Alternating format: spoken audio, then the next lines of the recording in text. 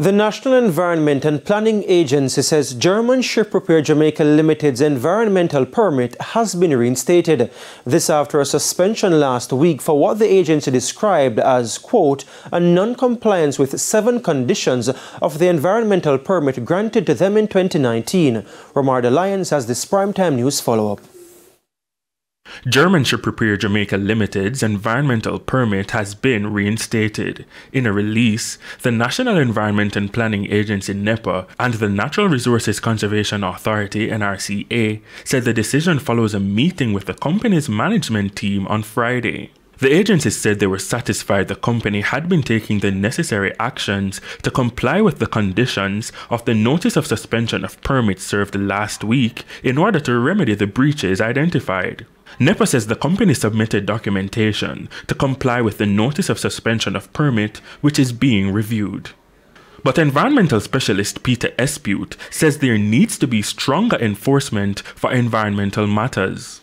This sort of problem has been going on for decades, probably before you were born. And um, it's not only to do with pollution, anything to do with the environment uh, there just doesn't seem to be a strong enforcement. The Clean Currents Coalition, a collaborative network dedicated to combating the flow of waste from rivers into oceans, says various industrial and domestic waste is discharged into the Kingston Harbour. This poses a threat to marine life. The most recent impact thousands of dead fish washed up along the Harbourhead shoreline in St. Andrew. And years ago, NEPA said an estimated 20 million gallons of untreated or poorly treated sewage is discharged into the harbour each day. Mr. Espeut is convinced this is still the reality.